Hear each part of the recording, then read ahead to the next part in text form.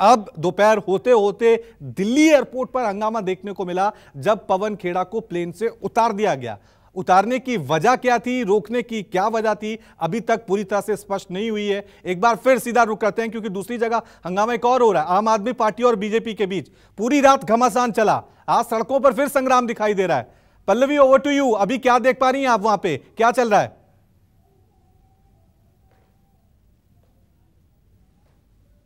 तस्वीरें साफ़ है कि किस तरीके से यहाँ पर आम आदमी पार्टी दफ्तर के बाहर जो है बीजेपी के कार्यकर्ताओं के सहित यहाँ पे सांसद मौजूद है और एक बैरिकेड तोड़ चुके हैं रवि और दूसरे बैरिकेड की तरफ़ आप देख सकते हैं कि पूरा कोशिश है कि इस बैरिकेड को तोड़ते हुए वो आम आदमी पार्टी दफ्तर के पास पहुँचे और सीधा यही मांग कर रहे हैं कि मनीष सिसोदिया फीडबैक यूनिट को लेकर के जिस तरीके से खबर आई है और जिस तरीके से जाँच के आदेश हुए हैं, उसको देखते हुए नैतिकता के आधार पर उनको इस्तीफा दे देना चाहिए।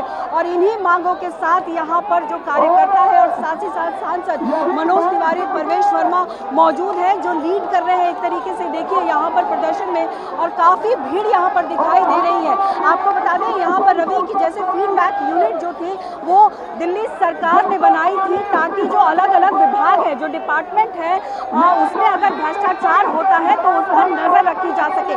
लेकिन जिस तरीके से इसको लेकर के सवाल उठाएगा और अधिकारी ने जिस तरीके से आ, जो आईजी के सामने ये बात रखी कि इसका गलत या बेजा इस्तेमाल हो रहा है तो इसी के आधार पर कहीं ना कहीं अब सवाल उठाया जा रहा है कि इसके ज़रिए राजनीतिक लाभ लेने की कोशिश जो है वो आम आदमी पार्टी और खासकर मनीष सिसोदिया पर भी और, और पल्लवी पल्लवी जो तस्वीरें हम देख रहे हैं अभी हम तस्वीरें देख रहे हैं कि कुछ लोग बैरिकेड को क्रॉस करने की कोशिश कर रहे हैं। पिछली रात जो हंगामा हुआ कुर्सियाँ चली सेब चले बोतल चले वो हमने देखा। अभी यहाँ सुरक्षा को लेकर दिल्ली पुलिस की तरफ़ से क्या इंतज़ाम किए गए ताकि हालात पिछली रात की तरह ना हो जाए? जो सदन में हुआ एमसीडी स्टैंडिंग कमेटी के चुनाव को लेकर। तौर पे।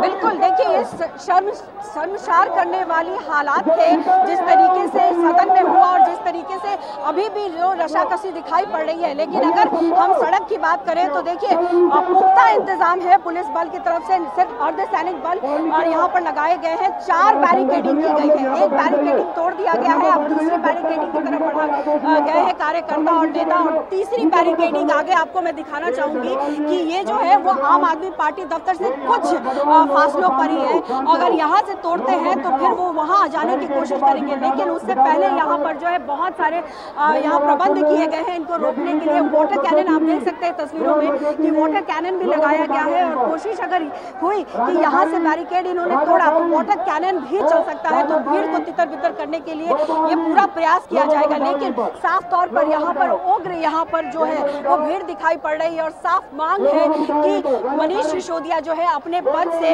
इस्तीफा दे दे। मेरे साथ बीजेपी के तमाम बड़े नेता है। आइए मैं उनसे बात करने की कोशिश करती हूँ कि किस तरीके से आप लोग सदन में जिस तरीके से हंगामा हो रहा है, दोनों पार्टियाँ जो है एक तरीके भूल चुकी है। और अभी आप लोगों का ये प्रदर्शन क्या हो रहा है?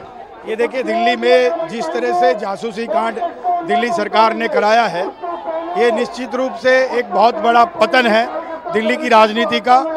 और अपने विपक्षी पार्टियों का, अपने राजनीतिक विरोधियों का जासूसी कराना, इसका मतलब दिल्ली सरकार का मोरल स्तर बिल्कुल गिर चुका है और इस कांड के अंदर करोड़ों रुपए का घोटाला भी किया है। और जो 600 से ज़्यादा जो रिपोर्ट आई है, उसमें 40 परसेंट, पचास परसेंट रिपोर्ट राजनीतिक पार्टियों तो साफ़ तौर से आप देख रहे हैं कि किस तरह से विरोध प्रदर्शन लगातार आज हंगामा, बवाल, यही देश की राजधानी दिल्ली में देखने को मिल रहा है। ये दो तस्वीरें हम आपको दिखा रहे हैं। पहली तस्वीर दिल्ली एयरपोर्ट की है, जहाँ पर कांग्रेस नेता, कांग्रेस प्रवक्ता पवन खेड़ा को प्लेन से उतार दिया गया। खबर यह आई शुरू में कि दिल्ली पुलिस ने उतारा। अब यह खबर आई है कि असम पुलिस ने पवन खेड़ा को प्लेन से उतारा है और रायपुर जाने से रोक दिया है। और दूसरी तस्वीर नमस्कार, मैं हूँ मानक गुप्ता। अगर आपको हमारा ये वीडियो पसंद आया हो तो इसे लाइक और शेयर ज़रूर करें। और हाँ, हमें सब्सक्राइब और फॉलो करना ना भूलें, ताकि आप देश और दुनिया की कोई खबर मिस ना करें। तो जुड़े रहिए हमारे साथ और देखते रहिए न्यूज़ 24